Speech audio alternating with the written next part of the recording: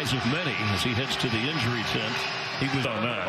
And there's that left leg of TJ Watt collides with his teammates and uh, you know immediately goes down and you can see the agony he's in. You can see his face right there.